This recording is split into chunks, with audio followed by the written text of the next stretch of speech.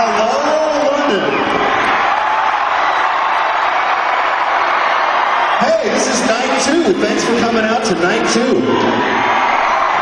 Hey, I didn't want to say anything, but last night they might have had a coffee or something because it looks like a lot of you are just staring at Mark's chiseled chin.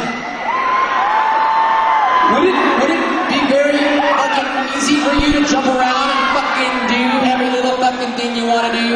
next song? Because we wrote it and it's fucking badass! I think, but I didn't read the set list, but I think the next song is good. It goes something like this. Listen. Stop staring at us and fucking listen.